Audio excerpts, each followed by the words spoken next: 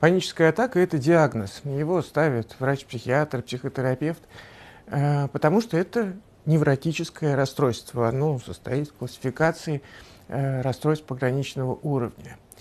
Каждый из нас может испытывать приступ паники, и каждый из нас может что-то очень сильно переживать. Но паническая атака, в отличие от а, обычного страха, может быть очень сильного, это целый набор симптомов, который возникает у человека.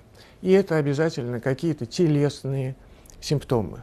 Нехватка воздуха, сердцебиение, э, ощущение того, что там, э, я не знаю, сердце вдруг останавливается, это повышение артериального давления, э, может быть, потливость и так далее.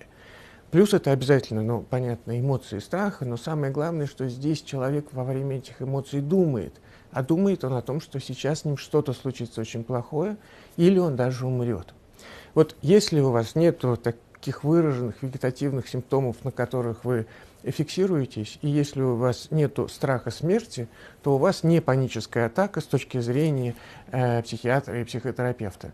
У вас просто выраженный страх, который сейчас может появляться очень у многих людей, потому что общая обстановка сейчас очень неопределенная, э, возникает ощущение неуверенности, и любой повод, даже небольшой, может спровоцировать выраженный страх.